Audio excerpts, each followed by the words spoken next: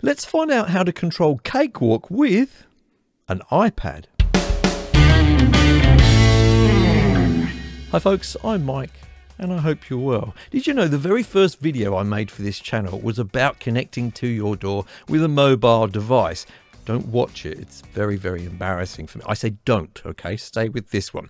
So anyway, that particular video handled connecting to your DAW using an Android phone. I made some subsequent videos about connecting to Cakewalk using Android, but I couldn't really find a good solution for iOS. The ones that I tried were clunky. I couldn't get them working, so there was nothing I could really recommend. Now, I haven't found a solution still that works well on iPhone, but I have found a great solution for iPad, which you can see here.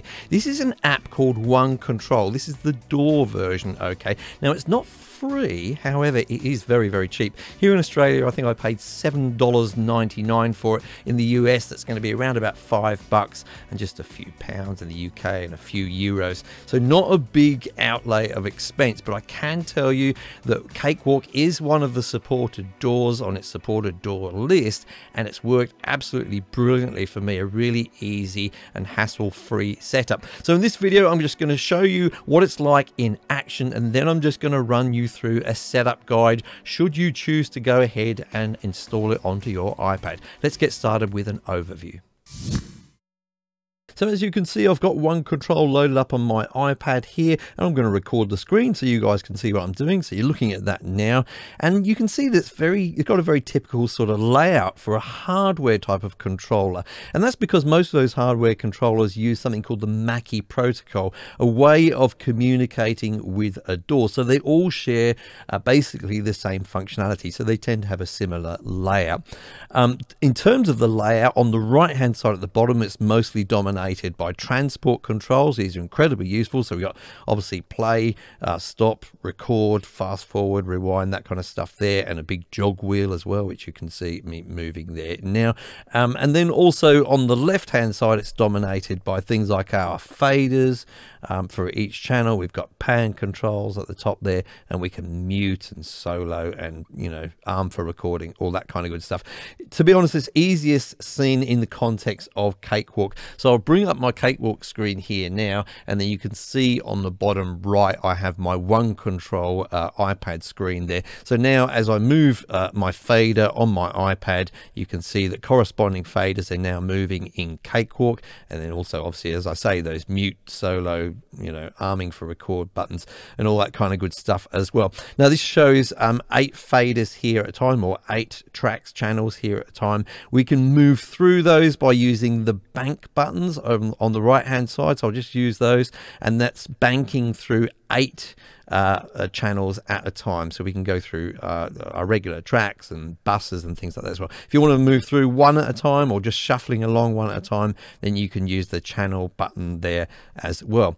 Of course, we can play. So I'll play the song now stop. We could record if we wanted to and we can use that big jog wheel to just to move through the track as you can see there. We can even scrub. If we press the scrub button first and then use that big jog wheel then we can actually scrub our track. Like so. That could be useful if you just want to work in sort of a very fine way um, of finding issues. Um, we can also navigate uh, through our project here. So um, I'll just make sure that I've got um, Cakewalk as my main window and then you can see that if I use the up and down arrows for example um, on the iPad here in one control I can navigate through my project.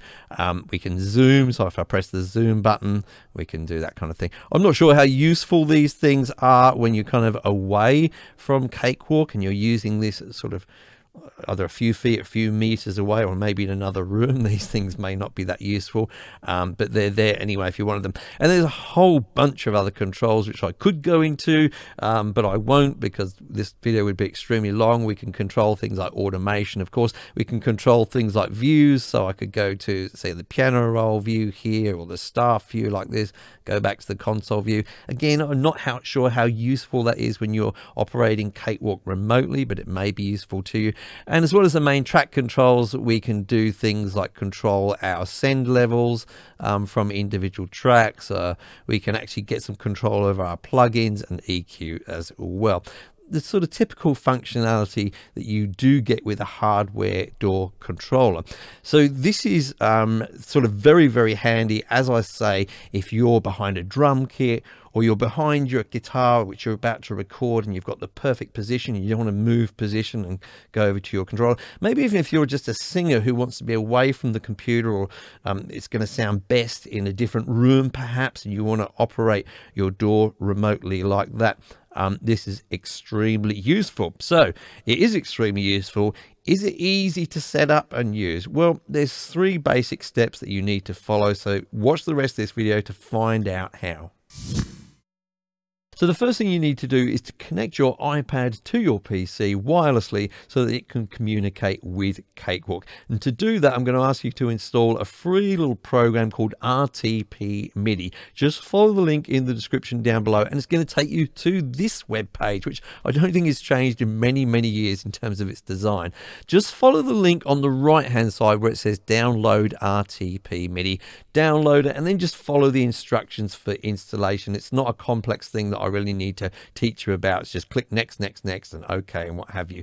Um, follow the instructions there and then open it, and you're going to see a screen like this. So what we're going to do here is create something called a session with a name. This is uh, sort of a almost like a virtual MIDI instrument that Cakewalk can see. So we'll need to give it a name which is meaningful to us. So we're going to start off under the session section here by clicking on the plus button. So that uh, creates a new session. Now this is going to come up with a default name here, which is not going to be very useful to you. So get rid of that and put in your own name, whatever you choose. I've chosen this name iPad link. Okay, so I've just pasted that in there and I'll paste the same thing under bonjour name. I don't know what the relevance of bonjour name is. If you do know, let me know uh, in the comments down below. But honestly, I haven't felt the need to investigate it through all the years I've been using this. So I just put the same name for both of those. And that is done. All we have to do now is enable this new session. So we click on enable and that shows that it's enabled now and we just have to go ahead and set this up now in Cakewalk. Oh, talking of Cakewalk, if you haven't done so already, could you follow the link in the description down below and join my Facebook group for Cakewalk? It's a great community which is building over there. Everyone's really helpful to each other, answering each other's questions. I absolutely love it. I'm in there on a daily basis. If you do go over there and join now, let me know that you came from this video and I'll say hi to you. So here we are in Cakewalk. I'm going to start off by pressing P on the keyboard to bring up preferences. Then under the MIDI section on the left hand side, I'm going to click on devices. Here we have a list of our MIDI devices. Now, if you remember in RTP MIDI earlier on, I set up the session name as iPad Link. You may have called it something different, but I called it iPad Link. And because of that, it shows up under MIDI devices here. You can see it here under inputs and you can see it further down here under outputs. So I just need need to make sure that I've got that checked for both inputs and for outputs. And then I need to make sure at this point that I click the apply button at the bottom right there. So I click on apply, it flashes for a moment, and then I can go ahead to control surfaces. So on the left hand side, I'll click on control surfaces there, and I need to add a new one. So I'll go to the top right and I'll click on this little icon here to add a new control surface. Do that now. Then uh, under control surfaces, I need to select a protocol, which is going to be Mackie control here. So I'll click on that. And then under input port, I'll go down and select iPad link or whatever you called yours. And then under output, again iPad link click on OK and that is done in terms of Cakewalk I'll just make sure that I apply it and then I'll go ahead and close that window now we just need to go ahead and open up the app on our iPad so when you first open up the app on the iPad, you'll see a screen something like this where you need to select your DAW. So if you scroll down to the bottom there, you can see Cakewalk is listed there. So I'll just click on that so that Cakewalk is selected. Now, if you don't happen to see that for some reason, you've been messing around with it and that's gone, then just click the little button right in the middle at the bottom. Okay, just click on that and that brings up that DAW selection screen. So as I say, go ahead and then select, whoops, go ahead and select Cakewalk from there. Now you'll see at the top left hand corner waiting for connection. Okay, it's going to say touch here for help if you do touch there for help. It's just going to tell you to install RTP MIDI, etc. What you need to do actually is go ac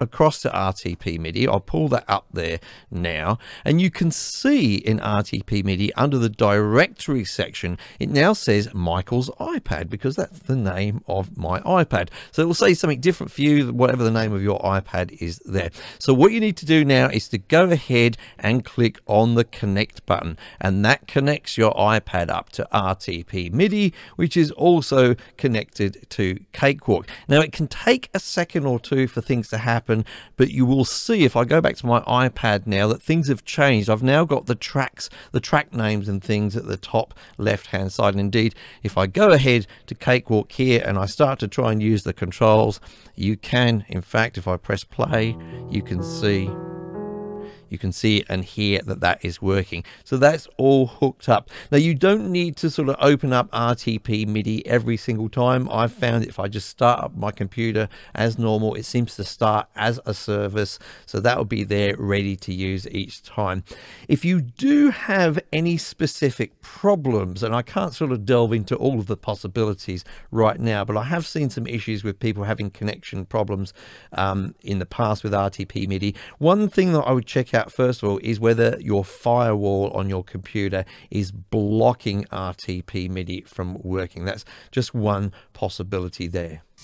Oh, another thing I quickly want to mention, when you are setting this up, do make sure that your iPad and your PC are on the same Wi-Fi network. That's important to make sure that this is going to work well. If you've got any questions at all, please do ask in the comments down below. I'm not really an expert on this, but I'll try my best to help you out. Or, of course, you could head over to my new Facebook group. A link for that is in the description, and you could ask your question there. People are ever so helpful over there. You should definitely go there and join. Do it now. Thanks so much for joining me today, and I'll see you in the next video.